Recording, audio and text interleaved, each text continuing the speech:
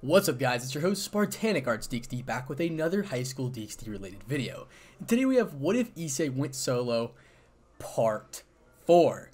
Let's try to hit a thousand likes, and if you guys want to know exactly when I upload slash my upload schedule, click the little blue button right next to the subscribe button. Thank you guys so much for the support on this series. I'm sorry I haven't been uploading as much, just kind of going through it at the moment. So Thank you for all the support. Let's try to hit a thousand likes. I know that's a big request, but we've been hitting it like every time I finally up the like goal because these people are crazy with the support. Thank you so much. Without further ado, let's go ahead and get right into it. Chapter 15 Gift in Little Kitten. Sirzechs is in his office with Grayfia the following day. I was thinking about everything that Issei went through up until now. He saved Rias again and stopped another from war breaking out between the three factions and nearly died if it wasn't for Kuroka. I should do something to compensate him and help Kuroka, Sirzechs said. You already made Kuroka a free devil and cleared all of her charges, but Issei definitely deserves something, Grayfia replied. But the question is, what? Sirzechs said. Sirzechs and Grayfia started thinking. Sirzechs takes out one of the pawn pieces that he borrowed from Team Rias. He just stared at it, and then I got it, Sirzechs said. Grayfia nearly clung to the ceiling from this sudden exclamation. First of all, never scare me like that again. Two, what do you got? Grayfia said. She jumps down. Sorry, but I have an idea. Why don't we promote Issei to a high-class devil? He's stronger than one, and his contract reviews are through the roof. He's clearly loved by almost everyone and is already a legend in the underworld, Sir said. That's actually a perfect gift. I'm surprised your idiotic self thought of it, she teased. I didn't see you coming up with any ideas, honey. Ha, shots fired. And then Grayfia hits Sirzechs. Ouch, Sirzechs said. Sirzechs and Grayfia talked to Ajuka and Azazel and Sona's older sister, Serafall Leviathan, who was a fellow Devil King. All were informed of Issei's heroic actions and came to the agreement it was decided that Issei will be promoted. As a bonus, it was also decided that Issei will be given a rare forbidden piece, the King Piece. Why? Simple. Issei suffered for years because he was weak nearly died several times protecting the others. Years of pain and abuse caused him to snap at those who hurt him, but he controlled his dragon rage. This was a feat itself, and it still chose to help him in the time of need, even if he didn't want to. If anyone deserved this power, it was him. Never again will he be unable to protect the others or himself. Now, scene break, we're back to Issei in the morning. Issei and Kuroka wake up. They were still in each other's arms. That alone was enough proof that they both had the best sleep of their lives so far. Morning, cat. Morning, my little dragon, Kuroka replied. Want some breakfast? Always. That would be the best night's sleep I've ever had. I honestly didn't want to get up, Kuroka said. Issei stretched his limbs and wings. Same here, but I'm hungry. I really had anything to eat since before the fight. No, the gross hospital food doesn't count. I want to eat real food, so I'll get started on breakfast, Issei said. Issei makes breakfast while Kuroka freshens up. Overall, it was a pretty uneventful, peaceful morning. Both decided to keep Issei's wings a secret for now. One more change has occurred. Issei's horns released flames from normal yellow to red. As both of them finished eating, Issei saw a look of confusion on Kuroka. What's bothering you? Issei said. Kuroka snaps out of her train of thought. Hmm. My bad. It's nothing, Kuroka said. I can tell there's something up with you. There's no point in hiding it. Tell me, Issei said. Fine. Yesterday when I told Shirone the truth, she still looked like she hated me. She's young. She needs time. I would know, Issei replied. I haven't seen her in five years, and back in the hospital was the only time she hugged me. That means you're still her big sister and she clearly missed you. You just need time to process and accept it. She knows the reason behind your disappearing act, Issei replied. Hello, Mr. Kettle, Mr. Pot called. He says you're black. Ha! SAO Bridge reference. Nice one, Issei said. Thank you. I think we should talk about Koneko and spend time with her. That might speed things up. Good idea, Kuroka said. We can start after Koneko finishes her classes. Maybe you can train her in Senjutsu. That would be perfect, Kuroka replied. Both agreed to talk to Koneko after school. As the time came, both of them approached her and were honest about what they wanted to do. They went somewhere private to talk. However, Koneko was hesitant. Why train me? Koneko said. It'll be a chance for us to catch up and you to accept your Nekomata heritage. Koneko just sits there in silence. Koneko, if have something to say, just say it. I I want to know. Kuroka just sat there. I want to know why. Why didn't you try to leave a sign? I thought you were a terrorist. I thought you abandoned me. I don't know if I can trust you. I know the truth, but accepting it is something else entirely, Koneko said. Koneko finally let out all of her emotions, her expressions face finally showing all kinds of emotions. She finally cried after years of holding it in.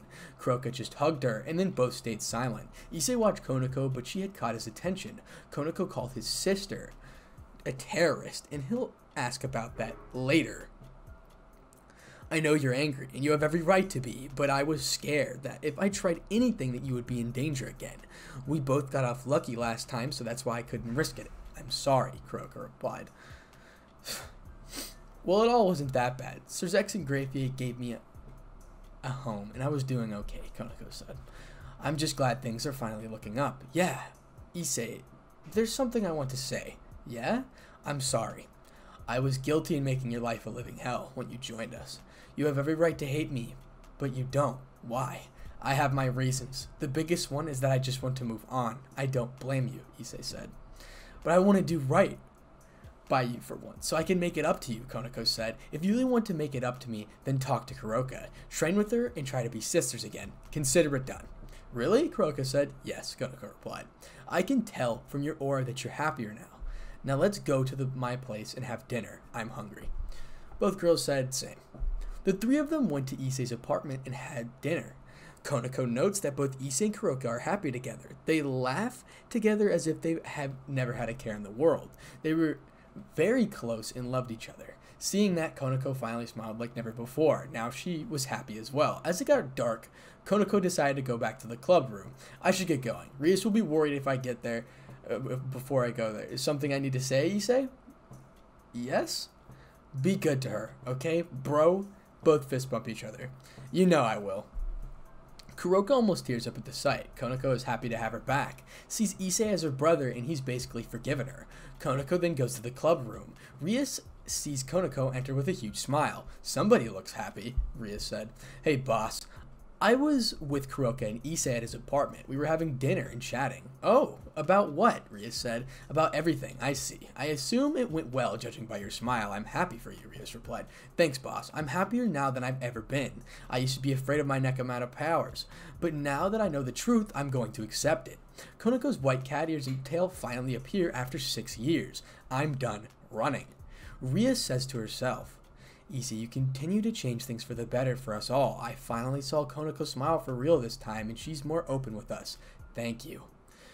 I'm proud of you, Koneko, Rias said. Shirone, I'm going back to my I'm going back to using my birth name. Is that okay, Rias? said Koneko. Yes, it's fine, Rias replied. And that is the end of chapter 15, Gift in a Little Kitten. Chapter 16, Unwanted Attention.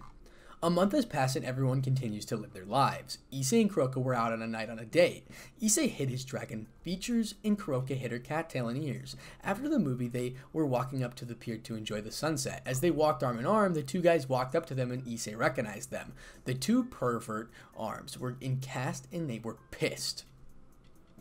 Remember us, asshole? Perv 1 says. Wish I didn't, Issei replied. Not only are our arms broken, but we got the worst beating of our lives because the girls chased us. You'll pay for that, Perv 2 said. Kuroka looks at Issei. Babe, we'll miss it. Kuroka says, Yeah, I'll make this quick. Issei walked up to the pervs and punched both of them in the gut. Before the two could even react, both were on their knees clutching their guts. Hey, honey, do you love it when I slap fools? Issei said, Oh, you know I do, Kuroka replied. Kuroka enjoys the sight of Issei literally slapping the two perverts silly. When will you two learn? Just because you're sad about your life, you drag others down too? Just give up, you pieces of shit, Issei said. Both pervs are completely bruised and beaten again. Did you really think that you two could jump me? Ha, Issei said. Go to hell, Perv 1 said. Been there now. Been there. Now let me show you, Issei replied. Issei picked up the two pervs by their collars and brought them close. He showed them his green dragon eyes. Fangs let out with a deep, slow growl. Both perverts went pale and froze from fear, then pissed themselves a little bit after Issei flared his, flared his aura in a way that even the two could see it. Who knew your fear smelled like piss? Gross, Issei said. Issei tossed the two in a dumpster, then walked away after changing his appearance from dragon to human. That was hilarious. But who were those fools again? Kuroka said. The morons that made my school life a living crap, Issei said. Oh, I remember. I saw their faces through your memories. They have nothing but lewd thoughts, it seems, Kuroka said. That's all they ever have, Issei replied. Pathetic, Kuroka said. Both made it into the pier in time and enjoyed their time together, but something caught their attention. They sensed Rias following them. She's following us, Kuroka said. Looks like I need to have another talk with her, Issei replied. No, I'll handle it. She needs to see that you don't feel the same way about her and you tried, but clearly it didn't get through, Kuroka said. Then let's give her a reminder, Issei said. That's just cruel, Issei. I love it. Both share a deep, long kiss. Ria saw them from a distance kissing and just turned around and walked away with a broken expression. You're happy with her, but I'm not giving up. I will win you back, Ria said. Rias goes back home and starts thinking of a plan to convince Issei to love her. Issei and Kuroka are on their date and still will no longer sense Rias watching them. And that's the end of chapter 16, Unwanted Attention. Chapter 17, The First Fallen King. The next morning, Issei contacts everyone and tells them that Sirzechs summoned them ASAP. They all arrive at Sirzechs's office and go inside. Ah, everyone is here, right on time too, Sirzechs said. Do you have a mission for us? A stray devil again? Rias replied. Rias was hoping for one that she could fight alongside Issei. Not at all. There's going to be a ceremony, Sirzechs said. What kind? Aziel replied. It's a surprise. Issei, would you please step forward? Issei is a bit confused, but does it as he told. Sirzechs gives Issei a box. Issei opens it and sees a chess set.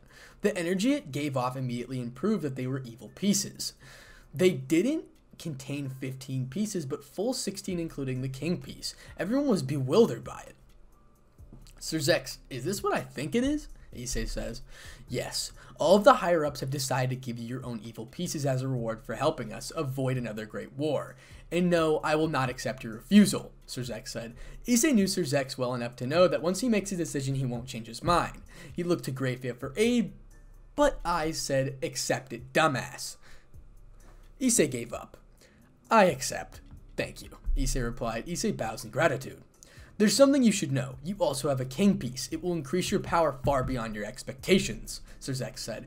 But aren't those rare and illegal? Rias replied. But considering his efforts and the kind of person Issei is, we decided that he should have this power. Why me of all people? Issei replied. Because you showed perfect control over yourself.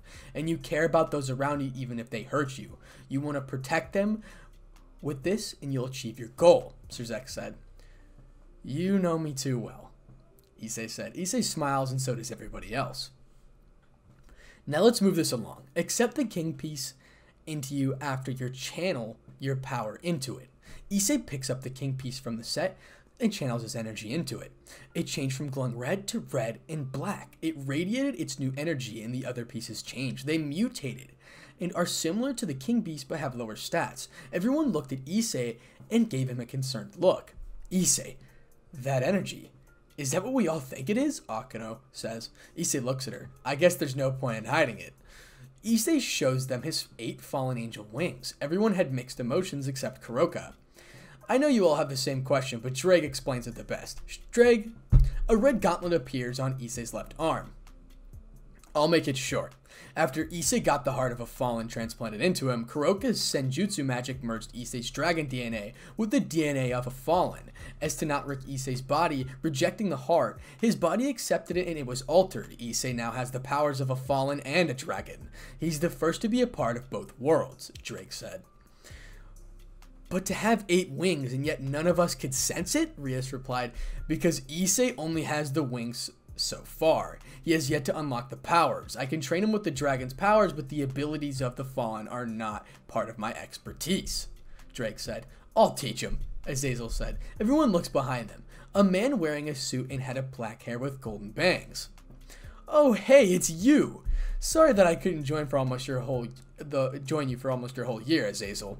Issei said. So you knew who I was the whole time? Yeah, I know the power of a fallen when I sense it, and your power isn't exactly small enough to hide completely, Issei replied. You got me. He laughs awkwardly. So I'll train you, but I need to know just how powerful you'll become with the king piece. I want to see, Azazel said. Alright, here I go. Issei accepts the pawn piece and it merged with his body.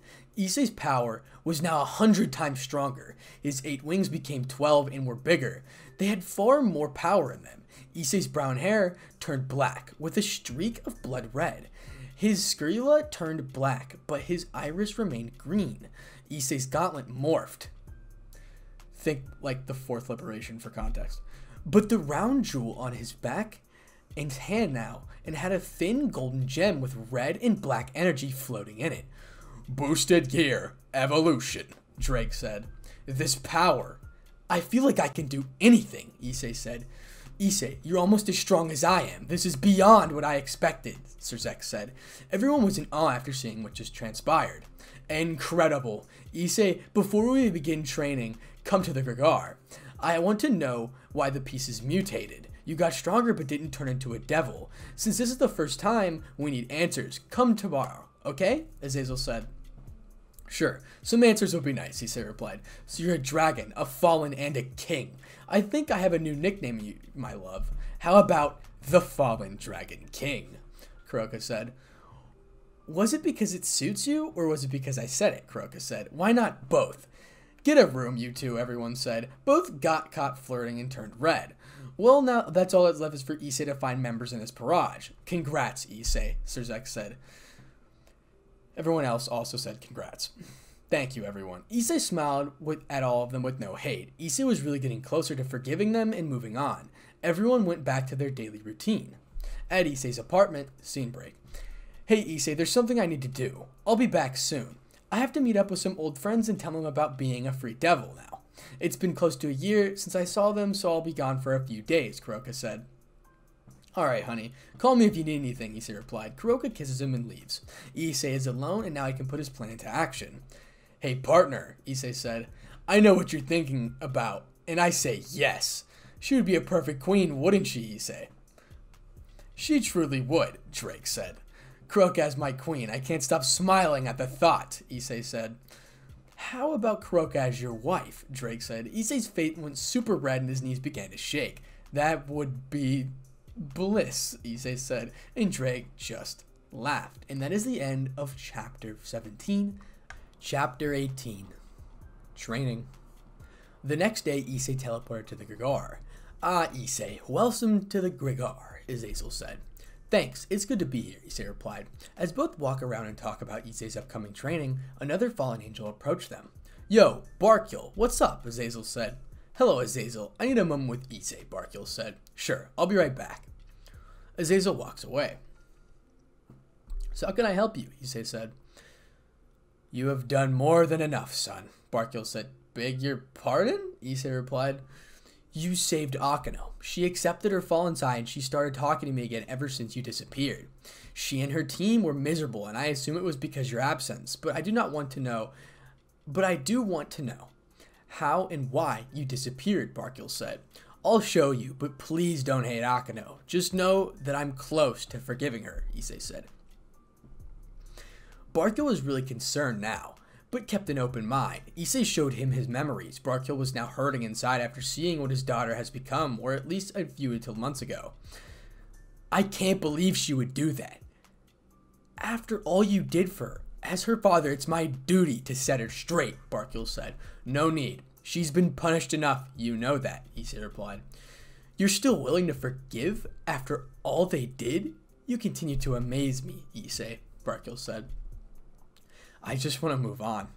I was thinking about having her train with us. During her fight with Riser's queen, she said she was barely able to win. She needs to get stronger. I just recently became a fallen. E even I'm stronger than her, in her com team combined, Issei said. In that case, we should train together. Did you just say that you're a fallen angel? Baraqiel replied, spreads his 12 wings. I have been for over a month now. But how? You were a human, turned devil, Baraqiel said. Then I turned into a dragon to survive the evil piece removal, and had a heart of a fallen implanted into me to replace my damaged one, Issei said. But we tried using artificial means to make fallen angels such as blood transfusion and organ transplants, but bodies always rejected them, Baraqiel said. You need sage magic to bond the two different types of DNA, Issei replied. We never knew sage magic had such power, Baraqiel replied. Sage users exist is very few numbers, and they rarely showed their abilities, so it would make sense that no one thought to try it, Issei said. As the two engulfed by their conversation, they didn't even notice Azazel standing there grinning like an idiot. He was getting so much valuable info from these two. Alright, you two, sorry to break up the conversation, but Is but Issei we have to go to Baraqiel and so do you. Right, sorry, both replied. Baraqiel goes to his office and thinks about what he just saw through Issei's memories. Issei still hated Akeno and Rias for what they did, and Baraqiel was truly disappointed in his daughter. How could she be so cruel for so long? Baraqiel began to cry, blaming himself for not trying to be there. He even thought Akeno didn't want him around after what happened to her mother. He also thought about what Issei said. He's still willing to forgive her and even spend time training with her, but questions is, is why he still cares for her. No normal person would. You truly are a rare soul, Issei, Baraqiel replied. Issei and Azazel decided to start his training, his hidden fallen powers. Issei will start off by making a light spear. How do I do that? I tried, but nothing worked. The trick is to just create one. You have to visualize it. Don't try to copy any spears you've seen so far, but create your own design. Think of the shape, the type of damage, etc. Azazel said. Alright, that actually helps, Issei said. Issei closes his eyes and begins to concentrate. Issei began to visualize a spear with a cyclone tip and three edges. That would actually cause the target to bleed out if the spear is removed. A truly deadly design. The then Issei made the bottom of the spear hollow, but with two spikes, like cat ears for reference, as to release a small flame strong enough to give it some extra power. The design was done, but Issei still had to add color to it, and then Issei smiled. He made it jet black with a tip of blood red. Issei created the spear in his palm, and swing it around, each swing releasing a slow, dazzling golden flame. Azazel was blown away. Azazel could just tell the deadly how deadly the spear is after just looking at it. The perfect spear for such a being like Issei, it radiated power. That spear, wow, just wow, Azazel said. Thank you, Issei replied. The tip would kill it would kill even without its magical properties. But why the hollow base? Azazel said. Issei smirked and ignited the base, releasing a max thrust after throwing it at the wall. It went straight through the wall, after wall. Several fallen angels screamed after nearly being impaled. Mother, fuck, son of a monkey, mommy, all the screams came. One fallen was taking a bath and the spear destroyed the floor under the tub on the front side. It began to slide downwards. No! The fallen angel said. He falls through the floor and takes the tub with him. Issei and Azazel were watching through the hole. He immediately made the spear disappear, then looked at Azazel. They both just started bursting out laughing. Issei fell on his knees and Azazel held his ribs. That was freaking hilarious, Issei said. Azazel nodded after wiping his tears, then looked at the wall. It made a three-point star-shaped hole, and the edges of the hole were red hot. Azazel says in his mind, I better not get on his bad side. He's already stronger than I am, and did all that damage just because I asked him to. He may become one of the strongest in existence if he gets serious. Alright, Issei, you clearly made a powerful spear, and know how to use it. We'll skip to the physical training that includes flight, Azazel says. If you say so, Issei replies. Issei and Azazel begin training. In the first two days, Issei mastered his spear in flight. He learned to harden and sharpen his feathers, both for defense and offense respectively.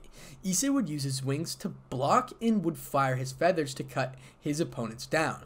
Many testing dubbers fell victim to it. Eventually, Baraqiel wanted some combat action as penance for nearly getting impaled two days ago.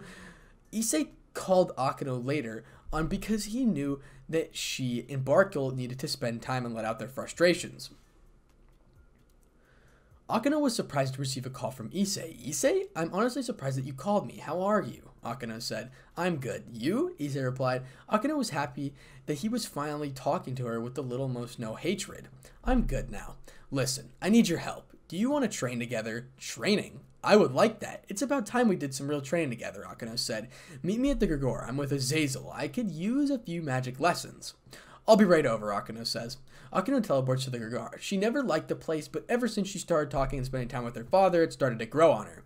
Thanks for coming, Akeno. I was surprised that you called me even though we had barely spoken since you last came back. Yeah, but now we are both different people, so let's get started. We need to get stronger. Akeno, Issei, and Baraqiel trained together. Issei learned to use the elemental magic. Akeno's holy lightning became more effective and both of their magic reserves increased.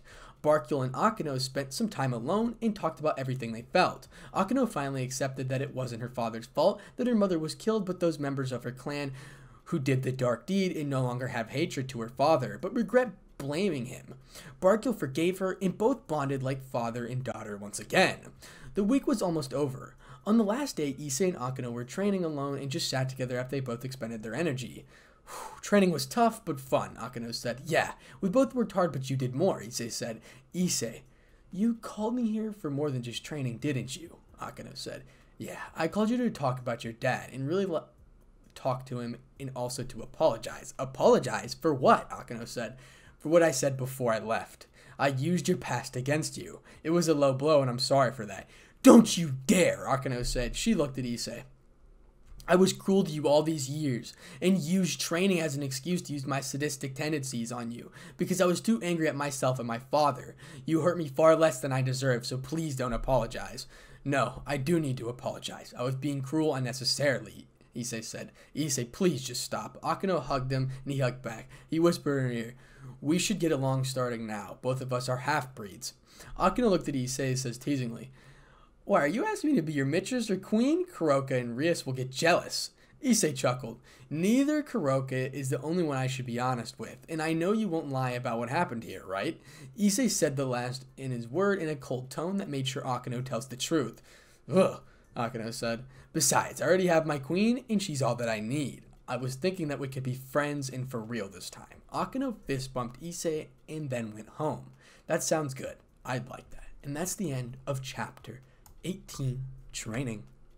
Chapter 19 The Eight. Issei and Akeno teleported together. Akeno had a smile on her face from finally getting some peace. Hey Issei, thank you, Akeno said. For? Issei replied, for helping me again. Years ago, you convinced me to use my fallen side. Now I know the truth about what really happened.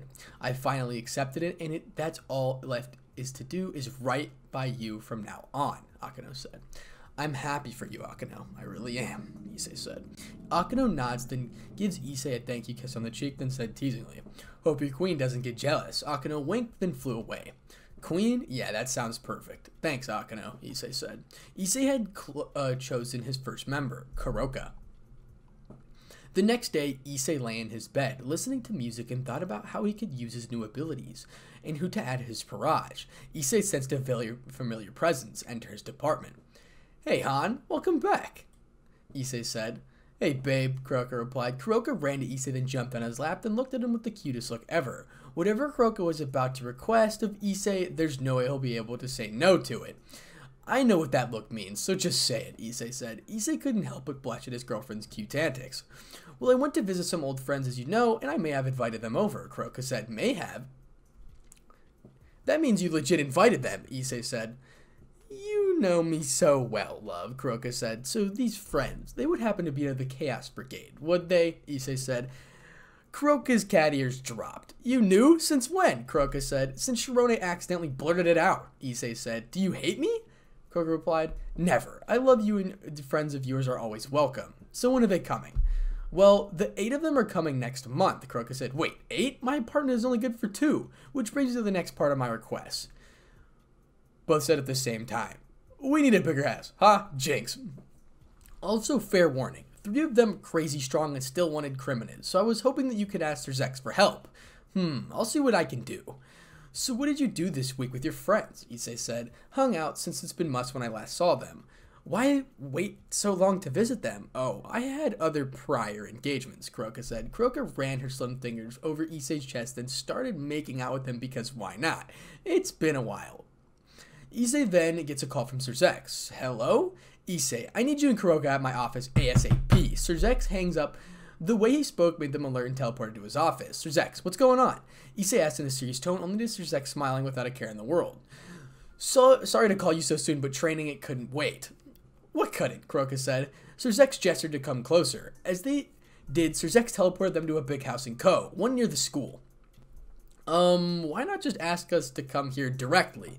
Went from one part of the town to the underworld only to return to a different part of the town. Dramatic effect. Sirzechs said. So do you need us to do something? Issei said. Yes. Enter the house, Sirzechs replied. Both look at each other. Then they approached the door. They felt familiar, familiar, several familiar energy signatures. They opened the door and, surprise! Both go at the same time. Huh? Welcome to your new house, Grayfia said. Again, huh? Both replied. I'll explain. Since you've been back, all we wanted to do something so that both of you are the family. So we get this house.